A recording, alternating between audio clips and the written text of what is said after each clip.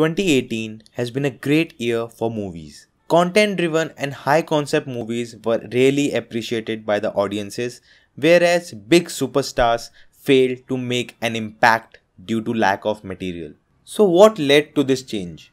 And the answer would be internet. And more than that, the increasing access to it thanks to Jio. It has brought awareness to the masses. Trailers have become so important that they can make or break the business of the film. And social media plays a big part in determining that. As soon as the first show of the film is over, reviews are out on the net and reach all over the world within seconds. Peer pressure also plays a part as bad films get memed and scrutinized, people avoid these films to save themselves from embarrassment. The new superstars of this generation come from the social media. These influencers, critics determine the fate of the films in some form. Also, our films face great competition from West and digital platforms.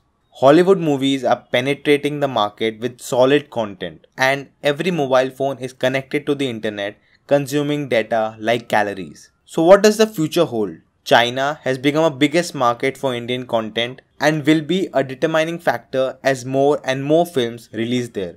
Also, the explosion of Indian content in foreign markets due to the increasing number of foreign reaction channels and movie reviews. This exposure will be an important factor in widening the scope and business of Indian content all over the world.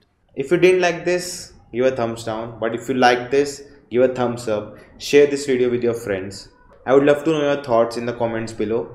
If you haven't subscribed yet, check out other videos and if you really enjoy them, do consider subscribing and don't forget to hit the bell icon to get notified whenever new video drops. So again guys, thank you for watching this video and I'll see you next time.